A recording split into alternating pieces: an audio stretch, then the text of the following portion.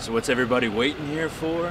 Cupcakes. Hey guys, I'm Patrick Jones and welcome to Buzz 60. Sprinkles Cupcakes opened a 24-7 cupcake ATM in New York, and well, are we really surprised people jumped at it? Do you think a 24-hour cupcake ATM is a good idea? I do, I do. It's been working well in LA, so it might as well work here as well. I heard about it once, but here I am. Here you are on the first day. on the first day. The machine takes credit cards only, and you pick out the cupcake you're looking to gobble down. And then the magic happens. The arm in the dispenser behind grabs a cupcake from the capacity of 760 cupcakes, and it ships it your way, opening the little door. And good news, the reviews are positive. How was it? It was delish. Okay, what'd you get? So I got six cupcakes. Did you? Can We see Can we see what those look like. Sure, I'll show you.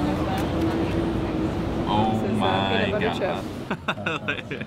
I'm like drooling over it. I mean, one woman almost got her fingers chopped off. No, no. It'll open back I can't believe I just sacrificed my finger for that. Buzz 60, now eh, you know, pass it on.